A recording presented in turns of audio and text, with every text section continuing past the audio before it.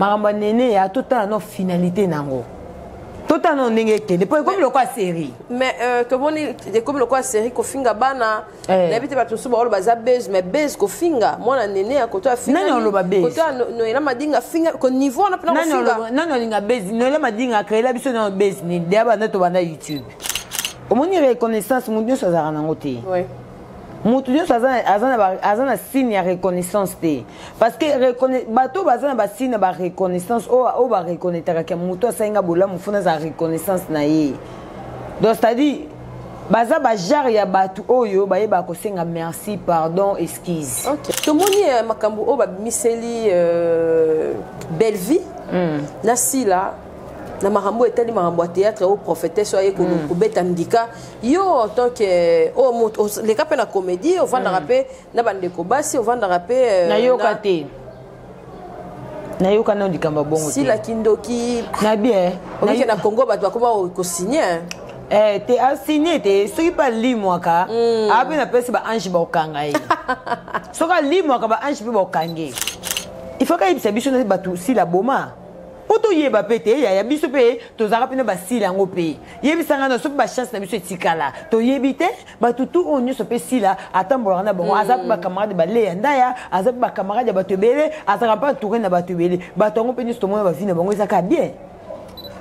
siko profesi yango naoboya nde mpo eye ndambo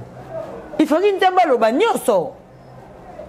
soki nzambe aloba nyonso kapasula tala kapasula omoni elevation eza eloko moko boye etroublaka meme na satan place avandi makasi omoni elevation etroublaka meme na satan place avandi yango kapashula omoni elevation na yo ebanda obimisa yo baconquerante ebanda obimisa yo bato bazoya partout oyo na misusu oyebi te na baindividi kando ofandi oyo bakangi nga ndoki na youtube biso toza na paster youtuber na biso oyo oh, soki ayepe abeti ndike ekangaka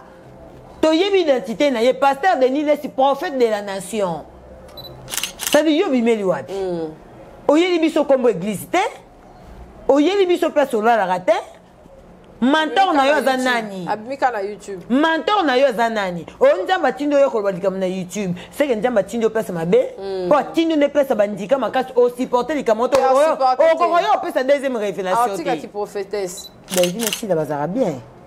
ozomona eh? hmm. belvine esila basololaka bien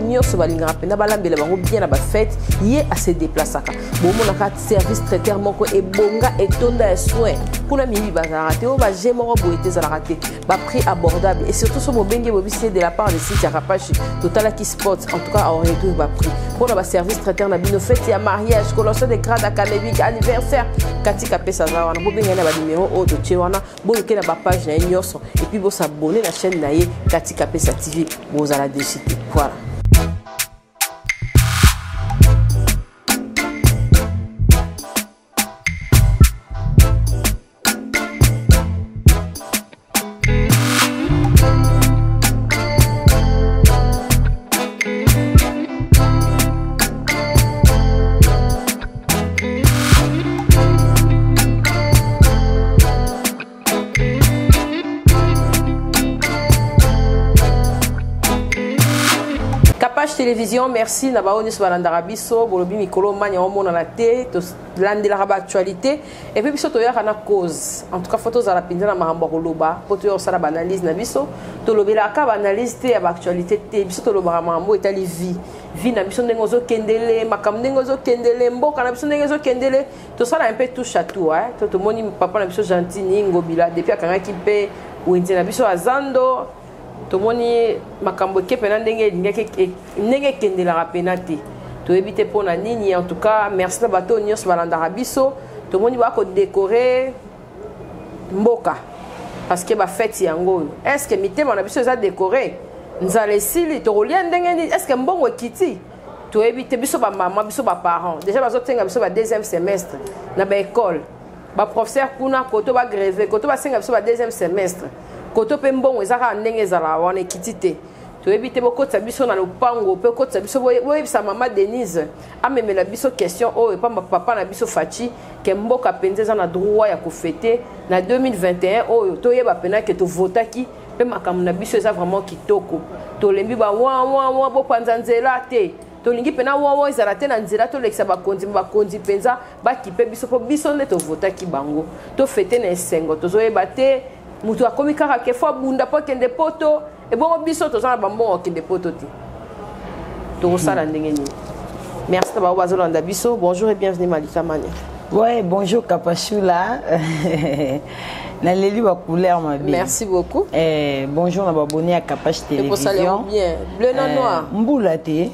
Mboula ebeti makasi elle. Eh, to profiter to eh, To profiter biloko akaba elikenge. Ebimaka na air makambo. Ebimaka na air makambo. Somo. Eh. En tout cas, merci na ba abonné tu à Kapash Télévision. Ouais. Euh, bonjour partout dans le monde bozo landa biso. Merci na ba tutu balinga mania malika. Merci pour na ba confiance bozo pesa biso vraiment. Merci vraiment pour na ba nde boza ko s'abonner vraiment tout monde pe maman 100 kazo kende kaka. Ça dit nga pe côté kuna ya malika officiel TV bo ya pe quoi. Eh bo ya penza bo mata to ko ma penza. Ah. Ah, la muka flash. Te lelo to zara koto yo. Eh lelo to zara ka awa. Eh, en tout cas, merci beaucoup à Mejimo Paradis Bansuka Nzambe. Mm. Merci pour votre soutien. Merci beaucoup à Chancel Mbemba Demi Dieu l'homme de Kingakati plus que Kingakati. Ça dit mon pépé koyi ko yan jete koki ko ko bouger mais ni si ça n'est ko longate. Mm. Eh, donc ça dit euh, toyebi ke motu to alinga koprotege réputation na ye par rapport makambo mosusu ezoleka mm. omoni baminiature baokotisa ye esa vraiment ezosala propre te omoni na motu aza responsable eh, père de famille peut-être olinga te na ndenge ya genre wana eh, azobundela mpe mbonga ye surtout aza susu richesse ya mboka na biso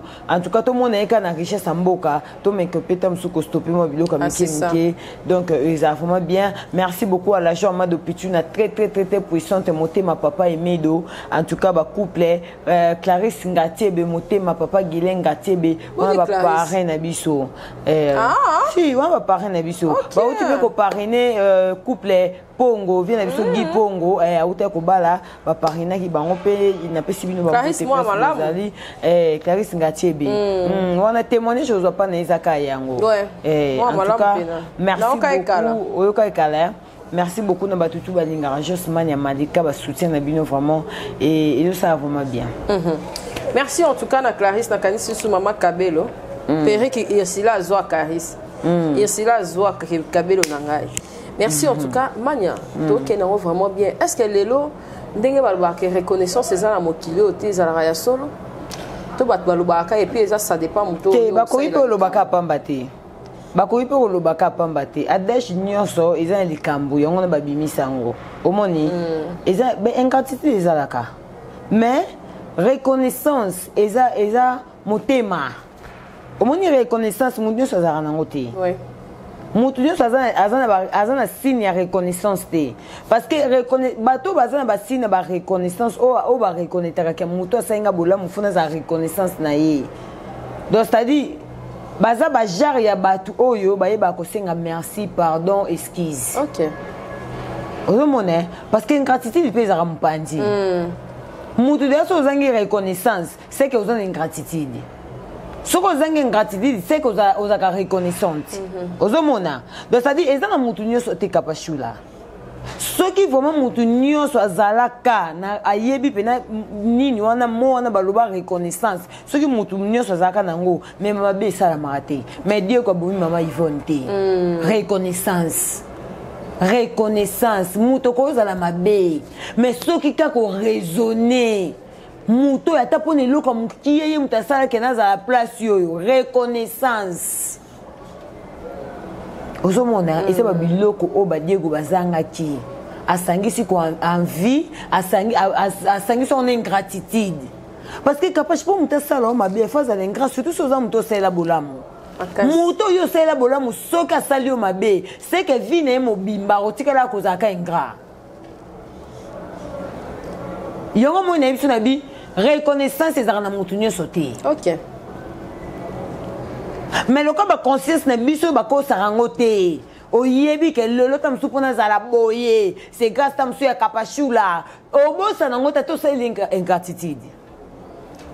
evanda deja eza esika mm. obanda obunda naoka yo moko moto ata na boya ata nalakisa ingratitude mais nayebi na consciente ozomona ye kapage c'est-à-dire soki vraiment reconnaissance ezalaka na motu nyonso mais mabe ezalaka te mais bamusicien mpe ntango balongwa na baorchestre bafingaka mpe baprésident te mm. toke bien kitoko makasi hey. Eh, ozomona eh? mm. eya mpe na basi mosusu mpe so akaboi na mobali nivo akosabola mobali eya mpe na mibali mosusu soki akaboi na mwasi nivo akosabola mwasi ntango oh, mosusu aza na babiefe oyo mwasi asalela ye ingratitude mm. nauti oloba yango moto akozala mabe akozala badefaut mais soki kaka asangisi yango na ingratitude cetadi vie na ye mobimba bato abongo bazala mpe na bato te ye moko na ye moko ye moko na ye moko mpo ekoma na evita bato mpo na koevite baproblème te bandiki eleki yo moko problème oza soki ntango ozokutana na bato ozokoka kogere yango te parce que oza problématique ba problème no eleki yo na monene eleki monene koleka ya njoto no donc na bilamba nao na basapato ne entouré na baproblème mm. osangisi wana ingratitude c'est la mort kapashula vraiment voilà merci mania nalingaka mpona baréflexion kitoko na sir oyokaki ndenge tobandaki awa nalobi makambo ya mboka hmm. yo na ngai ateke baparent ndenge tokendele mpena décembre oyo toyebi déjà ke bamois de novembre ezalaka déjà ke hmm. zando ezoningana bato bazosepela makambo ezoévolue hmm. est ce que tokende mpena toza dans le bon yango moni avant nakota na question wana mm. kapashula na ngai na yo tosengaka ka merci na bato oyo nzambe asalaki baleka na banzela na biso basungaka biso mpo soki bato basungaka biso mpe bakei tosambwe tosambwe mpo ya nini tolobi te ke toviva na bambongo ya bato mais quand même baoyo basoutenaka biso eza en plus ya parmi basoutien oyo tosengaka ofandi boye bacreele mwana mwa mwa robe moko boye na ndenge ya libanda eye mpe na koli bacreele mwana mwa basket eye elongolo déjà charge soki toyebi tolanda kaka toloba nyonso na koseretrouve na pizo makala mm. kena oka likolikolo ozomona e eh? mpo bakandisi ekoma ya kati yango tobi tosoutenir na biso ba impr mpo njembo na bango esoutenir biso nini tosali te nini tolati te nini toyembi te nini tolie te nini tozosala nanu te nini tosali te bato tu bayaka tovotaka bango sikoyo biso oyo tosali bino nini sikoyo fo toyemba nde nini bino bosaleli biso te tomoni turo mpe afo bachange titre nini oyo bosaleli biso te vraiment kapashula na kishasa oyo kobokola famille ah. eza eza facile te kapashi yango omoni nga ata babengi o likolo kilo ozozo natala nasekaka mpo so napesi bango peut-être bacharge oyo ngai naza nango ntango mosusu bakokoka te mm. mais lokola nayebi ke nabokolo ya baorphelin nayebi ke nzambe aotikanga te ata moke te tobikaka kaka na mawa nzambe nde toza boye toviva na mawa kapashi omoni nga eh, na vivre na tala un moso na lamuki na tongo eh na vandi pena boy ah nabi te soki nzambe te mobulu mobulu makasi mobulu kapashula soki nzambe te mobulu na place to se base na makambo mboka tosengaka mawa nzambe likolo na biso nzambe epesa biso ya kolia nzambe epesa biso ya kolata kapashula ngai nde naza boye soki namoni nakomi na suka na eza naza nango eza naza nango te nayaka kaka pa nzambe ye nde fin ye nde lider soki ye tala nzambe ya mokolo ya kapage nzambe ya mokolo aza malamu mpo soki nzambe abi akalkile yo kapashula surtout soki oza na bamoment de faiblesse surtout soki oza nango tokomi na niveau ya suka otala nani osunga nga otali mpenza ke nzambe atindeli yo motu mo boye kapashula natindeli mwa mbongo mo boye kuna ezwa omi ata koka yango so omoni ngai atali na ota bachronifuati mosusu baza na youtube awa ngai nde naza boye nazwa bacompte ka ya ba 200 dollar ba 100 dollar ya ba 1000 ya ba 12 000 yaya bongo moto wana azotinda yo 12 mil osomba oliwa c'est ça nga asepelaka na nga ata moto atindi nga 30 euro eza ya nga te akoki mpe kotinda niese na ye akoki mpe kotinda neve na ye mapesi yo tokokende bien ndenge nini toke bien nde nikapage mm. ngai nakoloba tookende bien bongo bato mosusu oyo mpo balia ata fufu balamba ata ndunda na butu nayebi te il y a des gens qui souffrent kapashula nayebi te papa fati beton ozoleka banzela nini population ezosouffrir makasi bafongola biso na porte tokɔta nanu hmm. eh? bafongola biso na porte tokɔta ngai na kapasio nde tovandi boye tokɔta grâce tika na bandika sikoyo kaya nayi naloba message mpo baba fati wandi olakisanga bapapier grâce problème nini na biso ko Hein? tovandaka na babourgmestre te na bagouverneur ozalaka kamarade ya papa gentil ngobili ozala bakamari te bozala bakamari te te soki boza bakamari te bafongola biso porte tokota papa fati yoka biso nanu biso bajeune kolanda no biso no nde tobeti boye basapologie te libumu eza ya nzala tozolataka mpo na fierité mpe kaka ya mboka mpo soki étranger moko ayeba amoni malika mo batala libanda e malika yango azaka salite boye nosaka mpo na fierte mboka bomona kaka tozo vivre bien nabeti baboti na ngai surtout surtout toza na saison mbula ah, mais papa fati vandisa biso nao na kiti oyoka mpe biso bafeti yango oyo ata soso ya te bafeti yango oyo feti esangani na minerval lisusu feti esangani na minerval lobi ngai nazwaki deja papier kaka ndenge olobi eh, deuxième nini semestre eh. deja nazwaki papier soki oyebisa ngai naotanga papier naoraisonne na le 25 décembre mwana ayokaka te mwana moko taka otika koyoka explication ya parent kenaa nango te eh, esimba kutu te papa fati bata poto balembi biso bata poto balembi biso papa fati beton nzambe atina biso ya mokili mpo na bata poto te c'est ça bata poto mpe bakenda bapoto mpo na biso mpe tebiso mpe fo tozongisa bawest biso ndenge toza awa tozovivre na maboko ya bino bakonzi ya mboka hein, kapashula tala il y a des gens qui souffrent kapash towana bamilie mosusu tokenda kokeba omona ah petit kaka mm. page mm. surtout ba soda hey, hey oyebisa biso kuluna ekoma bana basoda eh, na wileri wana nyonso omona bakuluna babimaka boye bautaka na bakamp bana basoda papa fati botalela biso likambo ya bana basoda tozovivre te bana basoda kuluna surtout en face ya cinquantenaire eh, en face ya centenaire wana fin lidusuma eza na badusu ezalaka kaka wana mpo bakoti eza nini likambo moko banda tobanda kolobela yango eza nini mm. ti lelo na 21e siècle tolobela kakabafuta basoda bien tozolobela kaka badecembre yango oyo nini oyo bosali mpo bato balia bien bato basepela bien na mboka na biso mo tokolia bien te na bafeti mosusu tosepela mpo lia bien foki eka na mboka libanda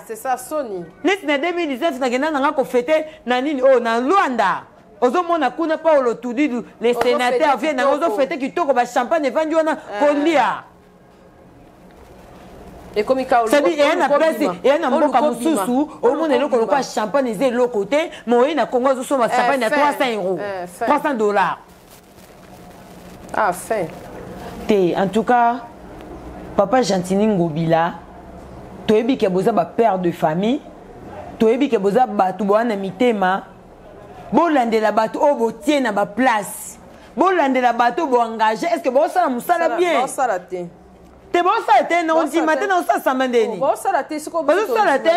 awa banzela yango bazosala décembre yango bato bauta batango c'est ça bongo bouchon mikolo otya lokolo wapi na otambwaka na moto yaya bongo soki oyebisanga na motuka bino nde bosufi bato ya mituka nga aza nanga na moto ozongeli conseil gratuit yaya bo yebisanga nano magi ekweyisaka me toa na choix te ponaka ya bien ngai naza bachauffeur moto na ngaa nabengaka mpo nakwea te wi oyaka zwa ngai otika ngai mpa kapasua na ville te yebisa nga nanu te kapashu chaque jour yo olingi oloba chaque jour mais moye toloba eza susu te hmm. moye toloba eza susu te tetika kaka basala tozotala miso neti ndako ezika merci en tout cas mania tokenda yango vraiment bien euh, problème ya rite beauté nene ya na bambongo na biso esuki hmm. wapi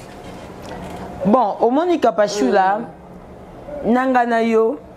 todécouvri makambo wana tuna youtube ouais. je pense que solana rite peut-être etant mosusu azwa etant obeta oba masolo wana mpe te hmm. tobeta masolo ya cope na biso eh, tosala promotion ekende nini ozomona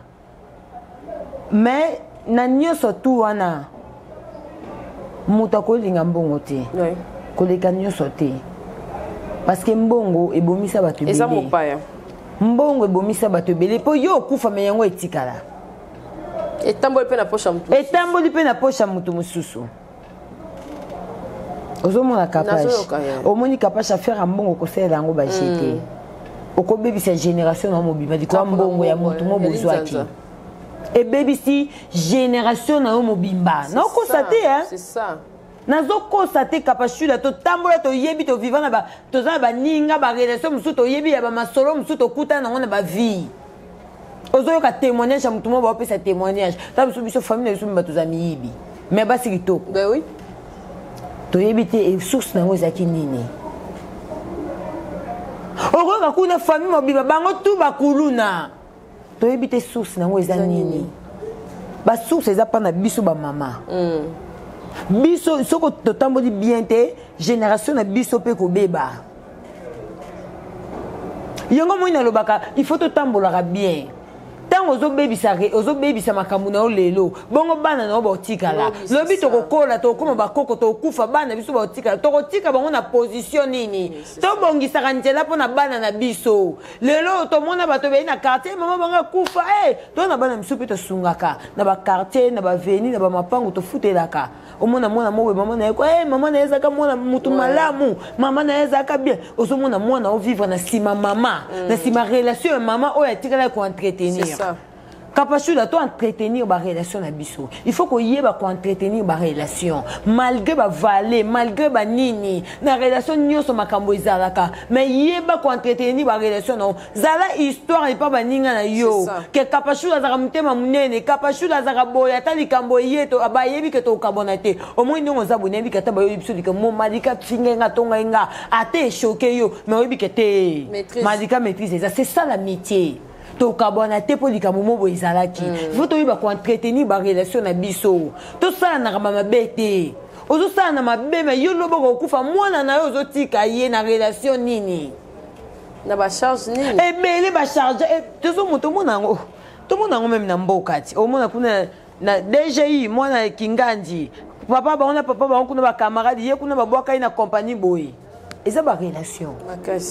lelo naza na société société na ngai etikali mwana na ngai aza wana e mwana kapashu e eh, kapashu azalaki pire saka mama ya biso te mwana na ye a ah, tuna tia ya mosala c'est ça oyo baobenga ko entretenir relation kapasio ya ndama bete ngai ngai mpena bakrelation wana entretenaka ya Eh, yango omoni mpe ntango mosusu nazanga difficilement nakozanga lelo nazangi lobi mai lobi wana ozanga te mm. mpo na barelation na ngai nayeba koentretenir yango naosoigne yango ata lelo naza te mwana ngai akufa nzala te ozoka mpo ya kapashula en tout cas affaire ya nene ya na barite na banani na ngai nakoki vraimen kolobela yango plus mingi te mpo meme ata so nabengi rite na olinga te tozwa ntango obeta nde masolo wana ah. parce que ntango apesaki mbongo ngai nazalaki te ntango basalaki makambo na bango ngai nazalaka te mpo hmm. ngai kutu ti nazwaka rite bote sponsor ya chaîne na nga nazalaka na contact na rite te na bandaka kosuane kapa neneya moto apesanga contact ya rite eza fivete ozomona ah, mais ndeni yo moto asponsorise nanga bi bon namoni ekenda bongo mm. to travaille na biso mpe kana aza nanga mpe lokoso ya mbongo te donc cetadi ngai na banda kotia rite sponsor ya chaine nanga no afutanga mbongo te ozomona mm. donc nzambe asala na ndenge na ye makambo ya neneya totala no finalité na yango totala no ndenge ekende mpo ekomi lokola série mais euh, tomoni ekomi lokola série kofinga bana Eh. nayebi te bato mosusu baoloba aza base mais base kofinga mwana nene ya koto afingakoto ya noela madinga afinga ko niveau wana mpena kofinga nani olinga base noela madinga akreela biso nano base nini deya banda tobanda youtube base nini noela madinga akreela biso oyo toyebi ko nene akocree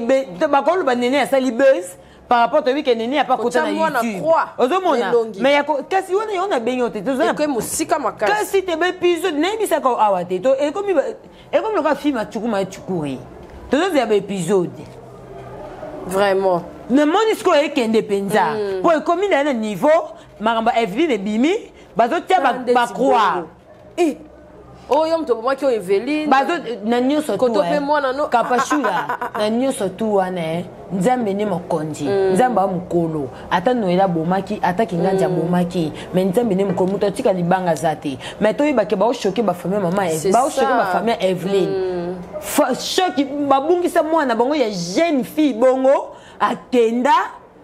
apres bino boya korapele biso ke moto kingandi moto aboma ye kapashula to na posa bapreuve ti omoni nga so ezali neneya nano bapreuve ya noela aboma eveline nakoya na bapreuve po kutu nasa kite kaka na place nabombami naya pena na bapreuve mpo bakanga ya sa peine na ye mpo aboma motu omona yango te donc nene ande aza na bombama bosuku baomona ete seke abombama te mais c'est grave faut tozala na balimite na mama ozomona mm. cetadi botala baniveau ndenge ezokomela bozondima nti bokoma kosalir bana na bino ti sikoyo bozwa mpe solution te na biso na bino tovandi tozela solution epuis nayebika likambo nyonso eza na suka nango omoi makambo suka nango mpe eza te suka nango eza kapasula mpo ndenge ekende deja kitoko boye bakomi na niveau ya bana seke tozela su oyo ekoya nayebi te su apres bana ekozala nini mhm. po ezalaki ya baniveau mibali mpe ma elongo ekomi ya bana sikoyo etuko ya bana nayebi te so turo ezoya eza ya bamama nazomona peut-être turo eza ya bamama soki turo eza ya bamama te seke turo eza ya bato baremorkage bakobima ngro ozomona e po toto rola déjà abimaki tika boye eh, toto rola abimaki déjà te sadi toyolekaka etape moko moko eh. sadi tozela finalité ya makambo oyo kapashu ya vie eza moko omoni nga soki na raisonne kaka vie eza kaka moko kapashu ya nazongi nanga nsima ezonga eh, nsima eh, nazongi zonga mbisi voilà. tokende yango mpena kitoko mm. euh, malika mania tokende yango vraiment bien tomoni euh, makambo oyo babimiseli euh, bellevie mm. na sila na makambo oyo etali makambo ya théâtre oyo prophétesse oyo aye mm. kobeta ndika yo en tant que oyo oh, moto oh, leka mpe na comédie ovandaka mm. mpe na bandeko basi ovandaka mpe euh, nayoka te nayoka nao likambo ya bongo sila kindoki na bien okike na congo bato bakoma kosigne Eh, te asigne te soki mpe alimwaka mm. ape napesi baange bakokanga ye soki alimwaka baange mpe bakokange franchement kapashula omoni mutu to alinga yo destabilise yo omoni mutu tu oyo alinga kodestabilise bavie ya bato bofundaka bango epa nzambe eh, eh, eh, ofundi ye mpa nzambe motu moko kaka ofunda nzambe ye nde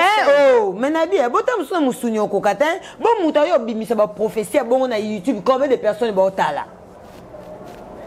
c'est ça combien de personnes baotala donc cetadi ndenge osali bongo namoni mpe so nazwela yo te de suka na nga fona keka pa nzambe en tout cas nzambe faut réagir na fundi moto oyo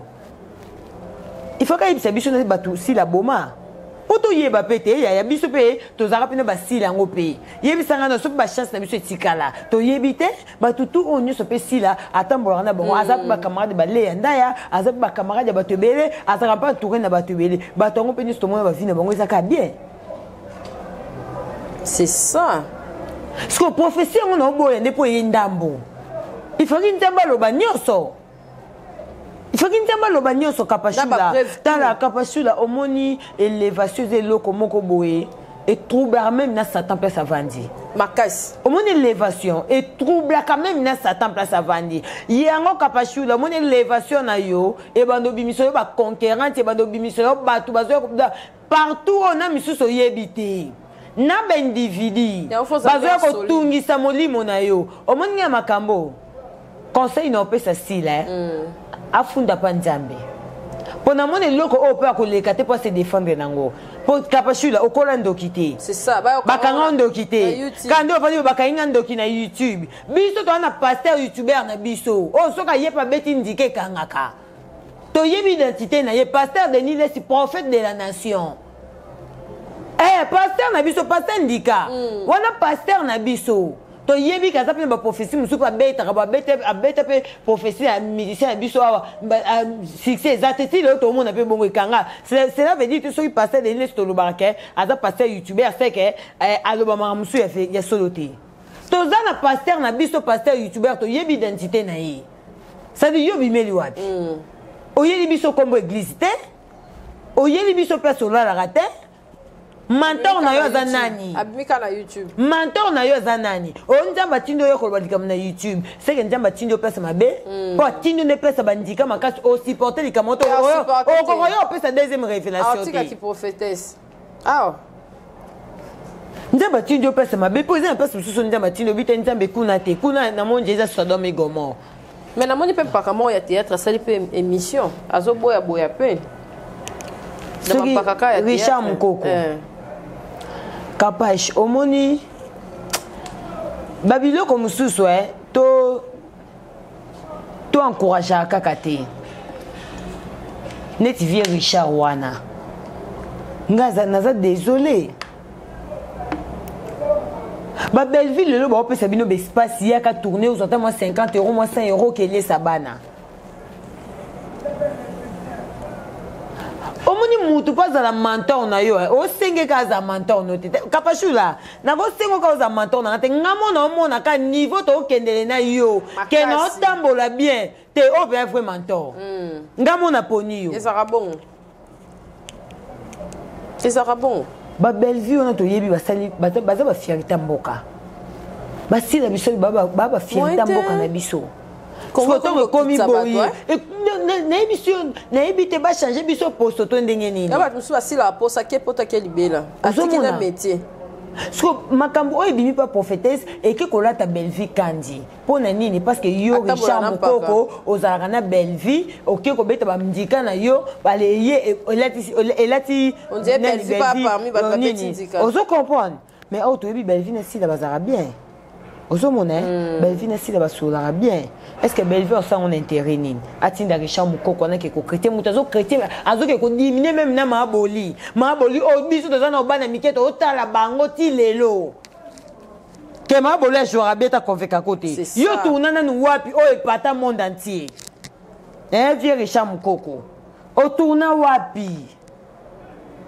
kapashu ena makambo mosusu oyambi moto omoi te tovandi boye okopermete ngai naloba likambo mosusu te oyo oh, yo mo conseil sino omona bajournaliste mpe oyo oh, bayambaka bato ingénieur moyo wabo mpo natalaki emission na ye epa na yo oza intellectuel oza moto oyebi youtube bien oyebi mosala oyo oyambi mpe oyambi mpe invité na plateau omoni kelo omo baoloba otengama non boye te eh, ote eh, maboli totala ye mm. ese makambo maa boli asala na théâtre na oyo ye richard wana asali to compare ne mpo richard wana bayebi ye te bato bayebi ye te amuta sika bazalazalazala ka wana okay. na banzonzingi voilà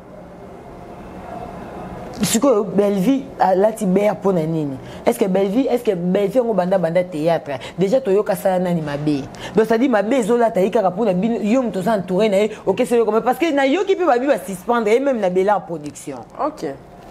te vomi basuspendre ye parce que motu moko te motu moko te kapashula ah, ngai soki makambo na ngai eyei na nzela na ngai bakoma kofinga kapash motu moko te akolinga eloko wana motu moko te ozo comprendre baoloba bongo nayoki basisfam yaye na bela ya production oleka susu te ozomona mutu na mutu asala rando na ye hmm. belvi akotambola mpe na motu ozali kapasho yo oza motu moko boye ta mosusu botambola na ye alinganinga te ezali ngai mpe nakoza na motu moko boye nasola na ye ta mosusu mura asola na ye na ye te ezalaka a ah, nga asola na leketu mais mura na leketu asola te eza normal eza normal mais elekisi te so mur ake afingi leke tu seke malika moto atindi non motu na moto azosala makambo na ye na youtube motu na moto aza na façon na ye akokendele makambo na ye omoni koto wana tomeka mpe kobongisa mokie sila na bellevue baza, baza basœur bauti groupe moko baza bana papa elombe ozo comprendre ouais. toza bagrande fille motu na moto akozwa coin na ye aosala mosala na ye selon ye mais eza te ke likambo moko ebimi belvie moto wana aza motu na yo nde nini bokotika finga sila non ntango tokenda kosala baemission totambola na bango na mikongo te ye richard atanga kenda kosala emission eske ateye belvie na mokongo toketikanga mpo belio avanda ota nde richard osala émission eza kitoko te eza na babiloko mosusu badiscipline mosusu eyaka kaka par rapport à relation omoni ata sila ndenge aza nde atambola na balinda ana so bazalaki bafille mo léger baye pembe na sila bazwi esprit ozo comprendre eh, parce que soki otambola na moto esprit fo yiba mayele na ye mpo okoma lokola ye il faut s'adapte malembe malembe ti okoma ozo comprendre kapashula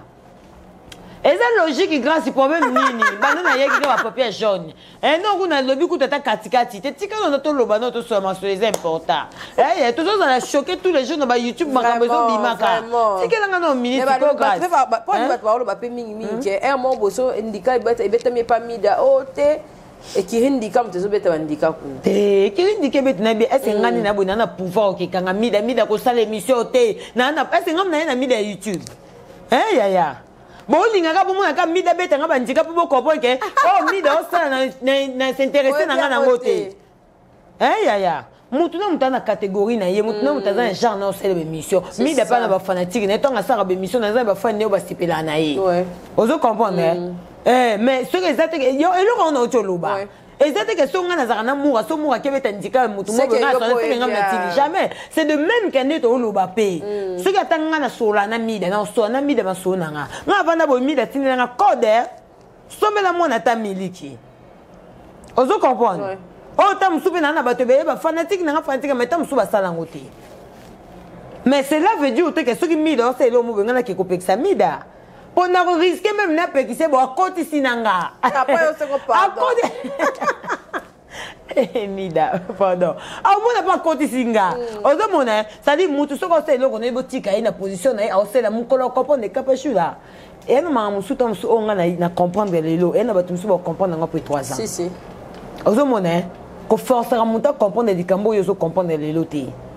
omoni temps irrégulier eh, yo, yo comprendre lelo na 2021 mais eza moto mosusu ayo comprendre na 2025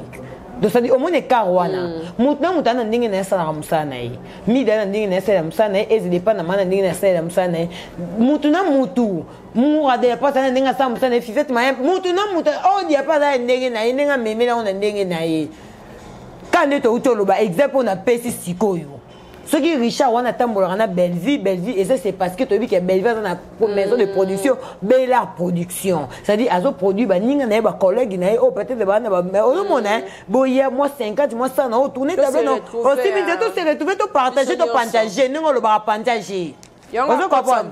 mais mm. eza bango bato baza entouré na bellevie il faut nde bazala na bandenge mosusu parce que eza eloko mosusu olatisaka motu na obere ah, parce que bamonaka ye na yo normalement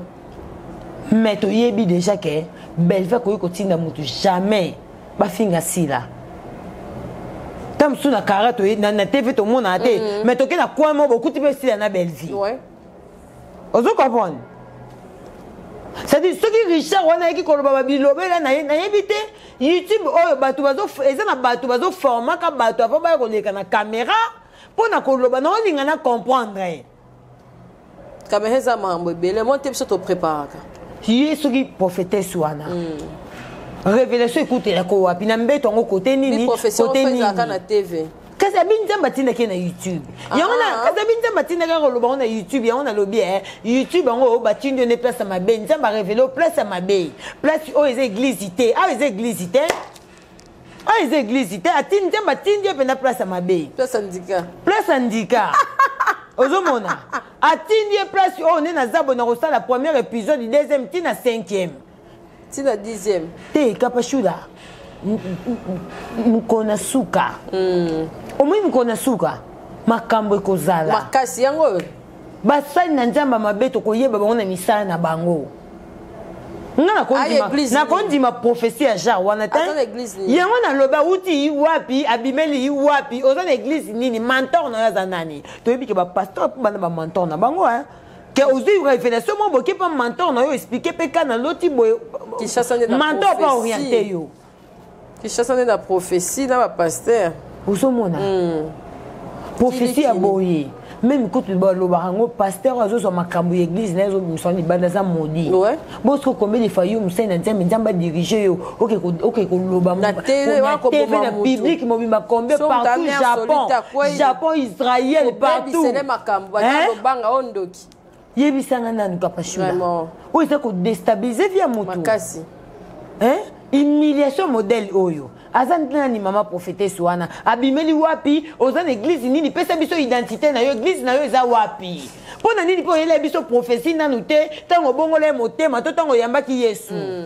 kaka yo oyela biso profesi tovandi kaka bolikambo oyemba mwa bum profesi sila ndoki prophesie ya youtube banda na banda youtube no namona prophesie ya boye te oyo oh, likambo ye bombi lokola bomba dela mpe ndenge eyaki mbanda mama mokolo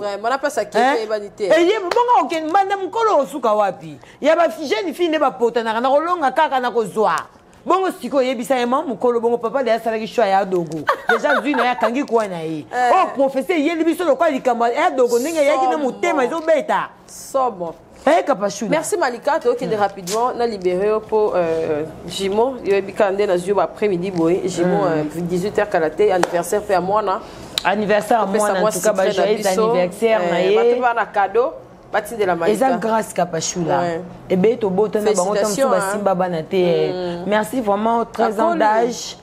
Euh, 13 ans d'âge vraiment en tout cas soit azalaki jeune fille soit azalaki mwa mwasi mai ero alambela nga ero asalela nga mwa nini ozomona mm. tokumisa nzambe mingi tobota na bango basimba ata mosusu bana na bango ntina ba age oyo te nakumisaka nzambe kapashula omoni ngai ya mwana nga temesa kola na orienta ye makasi donc cetadi lelo ekoza mokolo anniversaire na yo mais ova na ndako eh.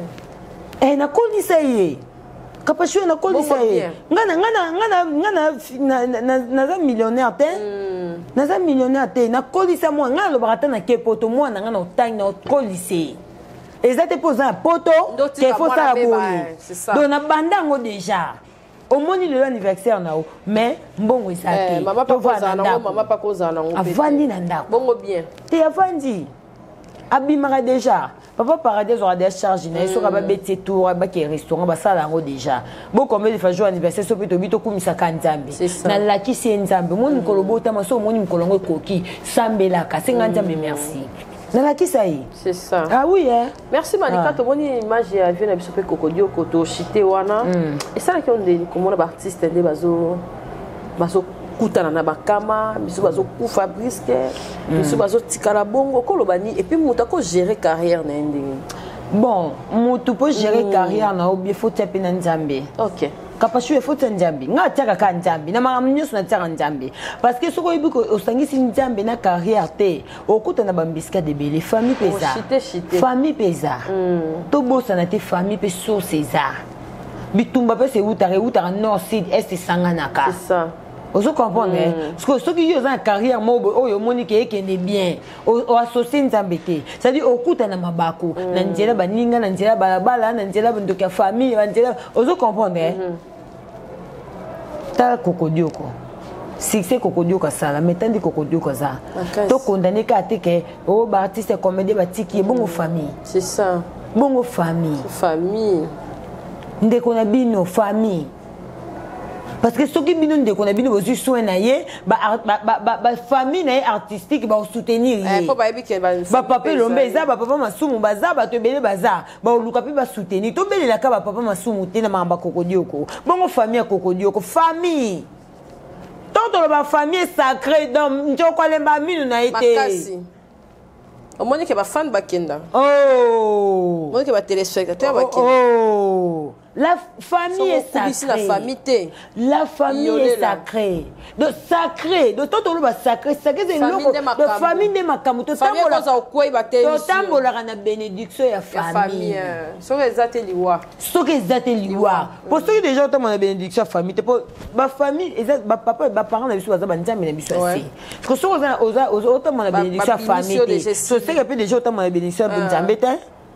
parce que place moko te bible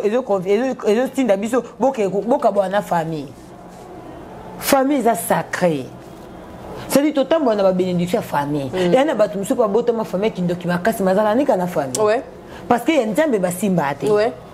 nzambe akoki kotinda wana maboko ya moto akisi abokoli yo atangisi yo baklasse oke mposa avi na yo mai moto wana azali na bakisi tomona moïse aviva na mboka pharaon te pharaon azalaki moto mabe te ozomona ye kapashula mm. famille ya kokodioko c'est ça botiki mutu na niveau wana libanda mm. et puis tokende epai tozonga epai comportement oyo na bafamille na biso tovivaka ndenge nini c'est ça savoir vivre oyo ezalaka kaka libanda te na bacamarade te bongo na famille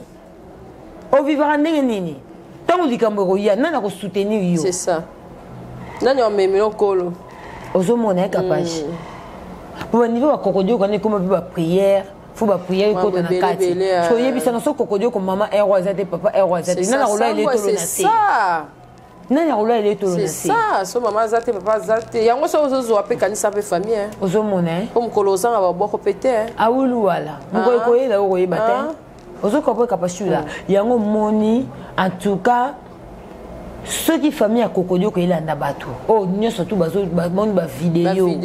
ya kokodioko mm. basala effort bazwa kokodioko bazongisa eno ndako mm. après bandeko ya kokodioko famille artistique ekoya ekosunga soki basengi lisungi mpo na kokodioko kokodioko moto asala na rtnc chaîne mère tozongela mpe nanu tozongela mpe nanu mm. ministre ya, ya, ya, ya culture azala kaka nayebi te nayebi ata kombone te nga mpe nayebaka kombone te baartiste na biso bazokufa pauvre tala mama shako tala mama shako akufa sa lupango yango omoni to félicité bamaka kalunga eh? mm. to félicité maka kalunga atongi ekolo na mbongo ya ministre te mm, na mbongo ya gouvernement te na mbongo na ye kaka ya mosala na ye ya théâtre atongi nini na ye aza fierité vraiment en tout cas faut tosoutenir bato ya bongo mpo na sila totika elevation ya motu biso nyonso toyebi place isila auti auti mosika toyebi place isila auti auti mosika mosika makasi ti akomi lelo botali te bamoma oyo atraverse na bamoma wana difficile na bamoma difficile oyo alekaki bamoma difficile oyo alekaki botali yango te bolingaka motu aviva na chômage bolingaka motu soki aovasa kita asala faillite mpo na nini profesi ebimeli bato misusu te mpo na nini profesi ebimeli ata bamayonese te bafille wana baladona baza wana ya bateatre mpo na nini profesi ebimeli bango te toyebi kutu bafille ya teatre ebele baza na basimba bakisi bakenda basokola bango mm. obimisi bango baprofesi te nini ka oyo ezolakisa kesila nini oyo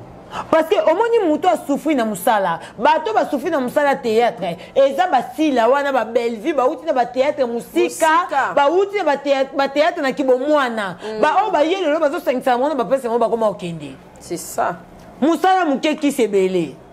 apparaître kaka fode te kosila te mm. brillant kutu koloba te sili kutu donc ekolreni esila kutu kobunga te fo ezala kaka eh.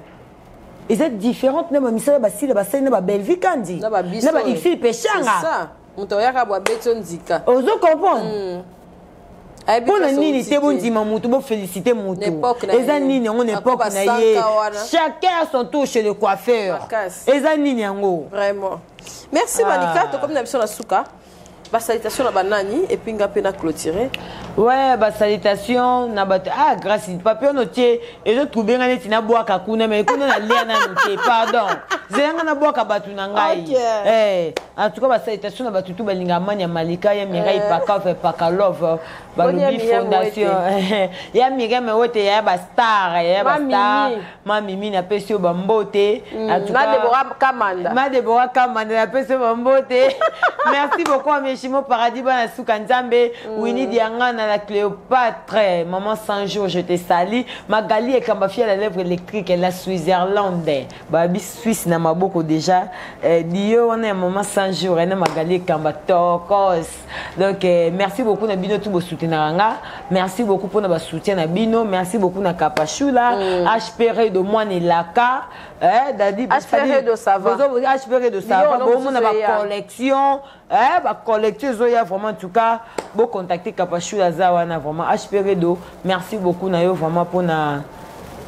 oresonaki nga vraiment donc esalaki vraiment bie eloko toloba reconnaissance kaka omoni eh, nga na reconnaître yo yo mpo reconnaître nga donc euh, merci beaucoup na basoutien na bino tu bato tu bolingaka josman ya malika boza vraiment tellement ebele nga mpe nalingaka bino mingi exil mafinga poupe noir je te sali mira dienda el dienda famille dienda mobimba napesi bino bambote delphine dienda je te sali aussi merci beaucoup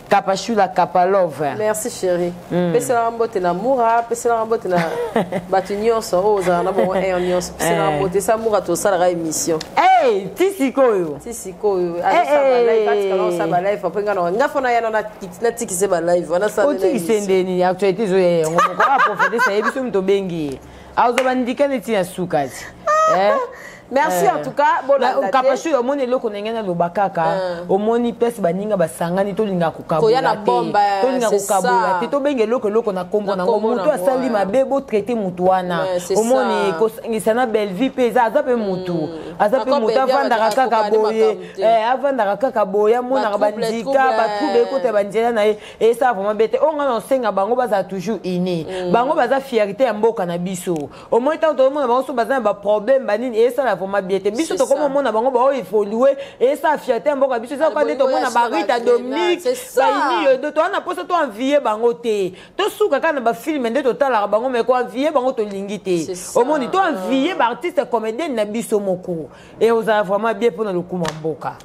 to envie bachancel mbemba demi die to envie bango s'il te plaît Eh, bon vie kapashula baosa fierité ya misala na biso ya youtube ozomona eh, to envie en tout cas merci malika mm. mania merci en tout cas pour la participation mm. pesela nga balejimo paradis mbote makasi pesela nga mbote bana suka nzambe eh, bazalaka mpe na compte youtube na bango na botoli bango yango bana compte youtube eh, bazala nango bazala nango bango babata tv ah, eh, mais nabotoli yango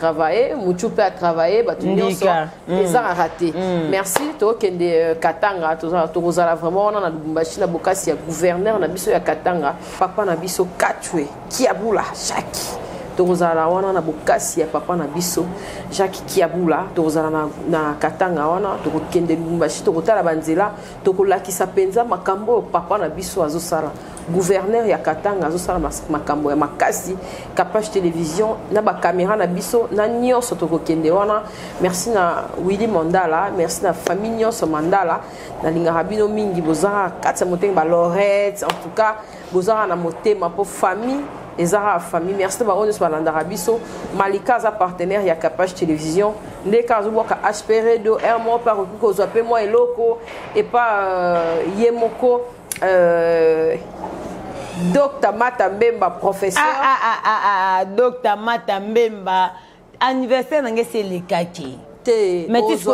ozwa ye eh. azosala na mwa bavideo ebele ebele hmm. dr mata mbemba professeur aza wana entuka ya régis banza na mpe na hmm. moko ya solo eh? régis banza panjaje régis banza régis banza ye aza bakote nini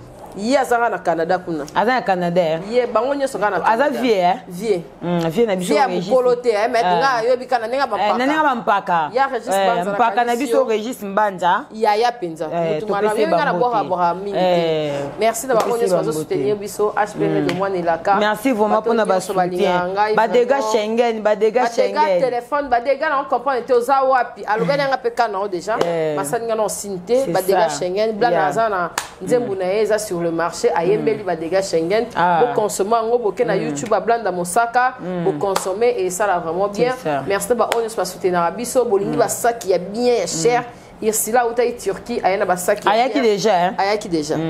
turquila irsila aye na basaki ya bien bolingi basaki ah mosusu ondire esili ya melo mosusu ezoya so bobengi nga kaka boza na kinshasa awa esala nga bien merci bagros bisous bye à la prochaine au revoir